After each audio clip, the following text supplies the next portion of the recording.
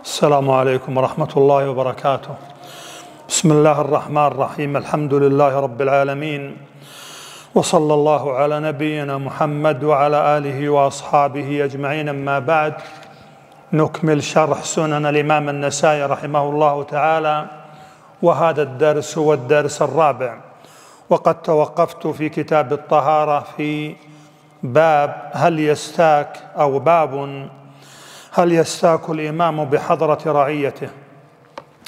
أخبر قال الإمام النسائي رحمه الله تعالى أخبرنا عمرو بن علي قال حدثنا يحيى وهو ابن سعيد قال حدثنا قرة بن خالد قال حدثنا حميد بن هلال قال حدثني أبو بردة عن أبي موسى رضي الله عنه قال أقبلت إلى النبي صلى الله عليه وسلم ومعي رجال من الأشعريين.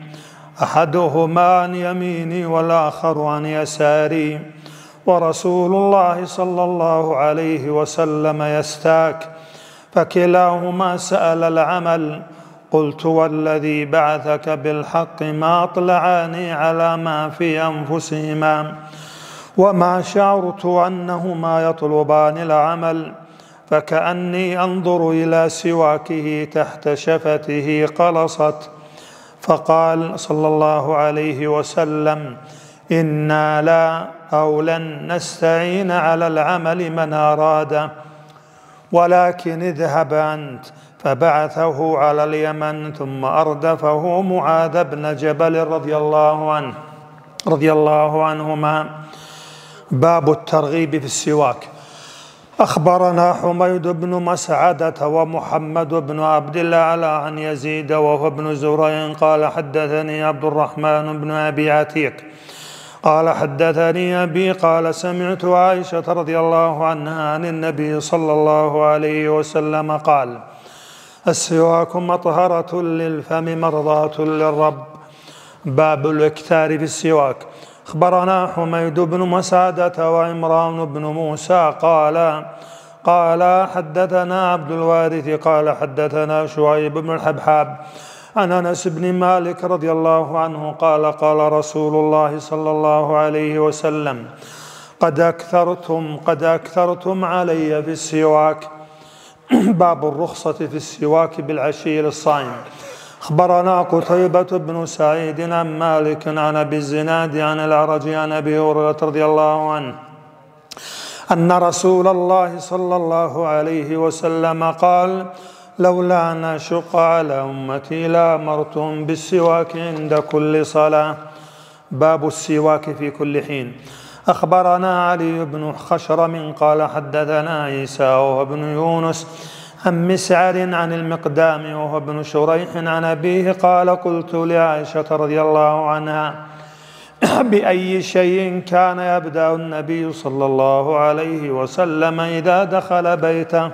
قالت بالسواك. ثم قال باب ذكر الفطرة أو الاختتان الحديث الأول وهو قول عليه الصلاة والسلام أو قول للنسائي رحمه الله باب السلام باب هل يستاك الإمام بحضرة رعيته؟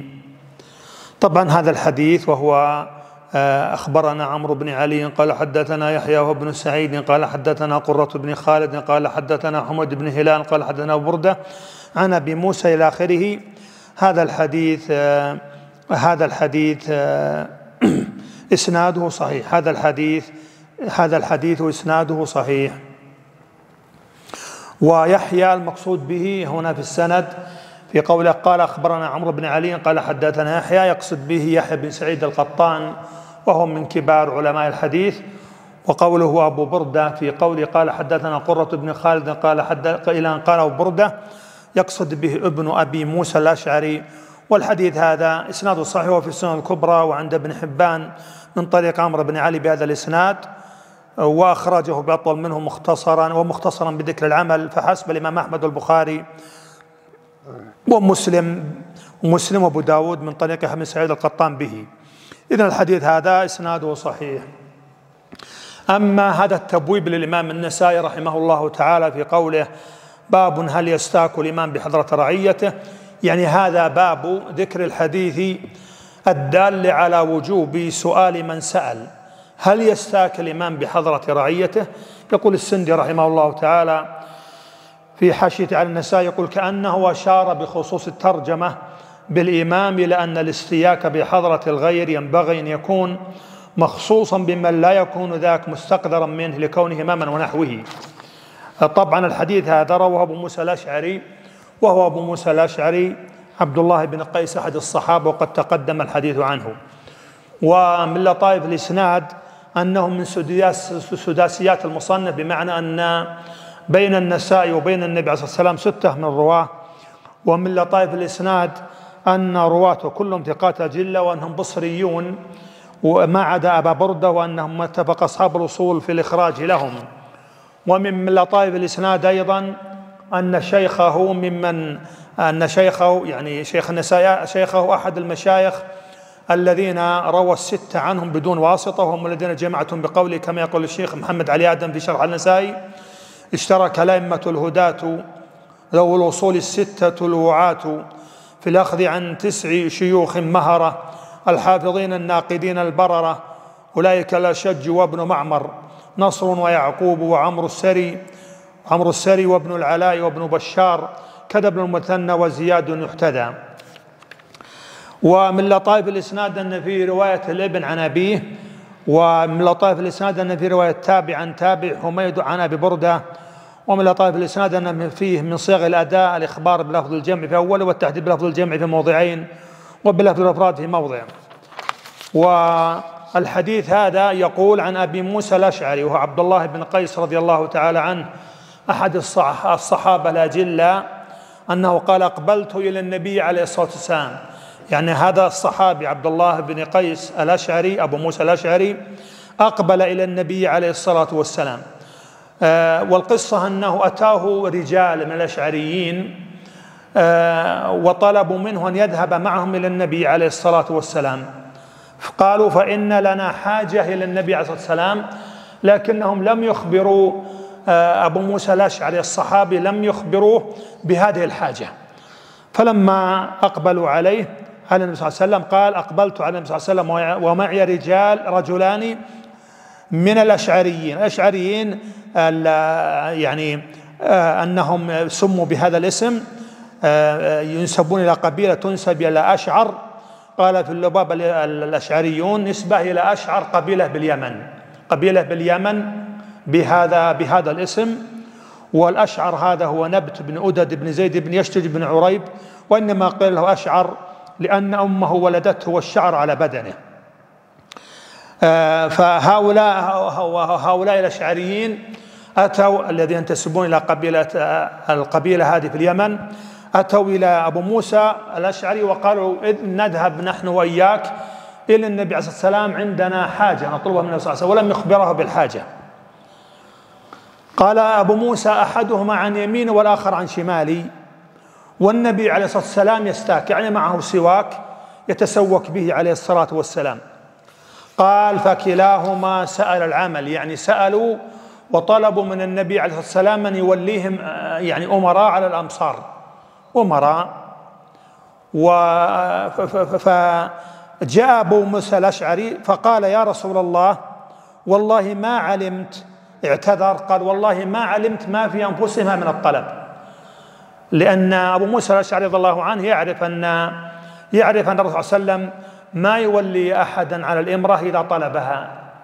لأنه لا يعان عليه إذا طلبها بخلاف ما إذا رشح لهذا الشيء. فقال أبو موسى الأشعري والله يا رسول الله ما علمت ما في أنفسهما وما أطلعان على ما يريدان. وما علمت أنهما يطلبان العمل يعني يطلبان الإمرة أو الإمارة. فقال صلى الله عليه وسلم يقول أبو موسى الأشعري وكانت السواك وكان يتسوق صلى الله عليه وسلم وهذه السواك قلصت. يعني انه من المبالغة في السواك صلى الله عليه وسلم بدأت شفته ترتفع إلى الأعلى عليه الصلاة والسلام. ثم قال صلى الله عليه وسلم إنا لا أو لن. شك من راوي. هذا الرسول صلى الله عليه وسلم قال إنا لا. أو قال أو قال عليه الصلاة والسلام لن. نستعين على على العمل من أراده يعني يعني كونكما تطلبان أن تكون أمراء على الأمصار إنا لا نستعين بكما بهذه الطريقة وإنما لأن الشخص إذا طلب الإمرة يعني ما يعان عليها. فقال صلى الله عليه وسلم إنا لن إنا لا أو لن نستعين على العمل من أراده أي من طلبه و ولكن قال صلى الله عليه وسلم ولكن اذهب أنت. يعني يا أبا موسى الأشعري اذهب أنت فجعله أميرا على اليمن ثم أردفه بمعاذ بن جبل رضي الله عن الجميع. هذا معنى الحديث. هذا معنى الحديث. هذا معنى الحديث. قال ثم أردفه بمعاذ بن جبل رضي الله عن الجميع. ومعاذ بن جبل هذا هو الأنصاري الخزرجي أبو عبد, أبو عبد الرحمن المدني أسلم وهو ابن ثمان عشر سنة وشهد بدرا ومشاهد. وله وسبعة وخمسون حديثا. وكان معاذ بن جبل رضي الله تعالى عنه الذي جعله النبي صلى الله عليه وسلم بعد أبو موسى الأشعري والي على اليمن أو قيل قاضي أو والي آه، كان ممن جمع القرآن وفي مرسل أبي عون يعني حفظ القرآن. وفي مرسل أبي عون الثقفي عن النبي صلى الله عليه وسلم قال يأتي معاذ يوم القيامة أمام الناس برتوة. يعني برمية حجر يتقدمهم يعني. وقال ابن مسعود كنا نشبهه يعني نشبه معاذ بن جبل هذا الصحابي الجليل العالم نشبهه آه، بإبراهيم عليه الصلاة والسلام وكان أمة قانتا لله حنيفا ولم يكن مشركين. وقد توفي معاذ بن جبل هذا الصحابي العالم الجليل في طاعون عمواس سنة 18 في خلافة عمر وقبر ببيسان في شرقيه قابل المسيب عن 33 سنة. يعني كان عمره صغير رضي الله عنه وارضاه. وقد ضرب يعني في العلم أروع الأمثلة فكان عالما جليلا مع صغر سنه معاذ بن جبل رضي الله عنه وأرضاه. ف هذا الحديث فوائده يعني ما ترجم له المصنف وهو جواز استواك الإمام بحضرة الرعية ومنها مشروع ومن فوائد الحديث مشروعية السواك وكذلك جواز الحلف من غير استحلاف جواز الحلف من غير استحلاف لأن أبا موسى الأشعري قال والله يا رسول الله ما أطلعاني على ما في أنفسهما مع أن الرسول صلى الله عليه وسلم لم يطلب منه القسم. وكذلك من فوائد الحديث كراهية سؤال الإمارة والحرص عليها ومن فوائد الحديث منع الحريص عليها منها لأن فيه تهمة ويوكل إليها ولا يعان عليها فينجر لا تضيع الحقوق العجزة وفي الحديث الصحيح عن عبد الرحمن بن سمرة أن النبي عليه الصلاة والسلام قال لعبد الرحمن بن سمرة يا عبد الرحمن بن سمرة لا تسأل الإمارة فإن أعطيتها عن مسألة وكلت إليها وإن أعطيتها عن غير مسألة وعنت عليها. يعني يعني هذا واضح الكلام الآن. ثم قال النسائي رحمه الله تعالى باب الترغيب في السواك باب الترغيب في السواك. أخبرنا حميد بن مسعدة ومحمد بن عبد الأعلى عن يزيد وهو ابن زريع. قال حدثني عبد الرحمن بن أبي عتيق قال حدثني أبي قال سمعت عائشة رضي الله عنها عن النبي صلى الله عليه وسلم أنه قال السواك مطهرة للفم السواك مطهرة للفم مرضاة للرب. وهذا الحديث صحيح وهذا سند حسن من أجل عبد الرحمن بن أبي عتيق وهو عبد الرحمن بن أبي عتيق محمد بن عبد الرحمن بن أبي بكر الصديق رضي الله عنه. فقد روى عنه جمع وذكره ابن حبان في الثقات وقال أحمد لا أعلم إلا خيرا والحديث هذا في السنة الكبرى النسائي وهو عند أحمد وابن حبان من طريقين عن يزيد بن زريع بهذا الإسناد إلى آخره. يقول يقول باب الترغيب في السواك يقول النسائي يعني هذا باب ذكر الحديث الدال على الترغيب في السواك. يقول السواك مطهرة للفم مرضاة للرب.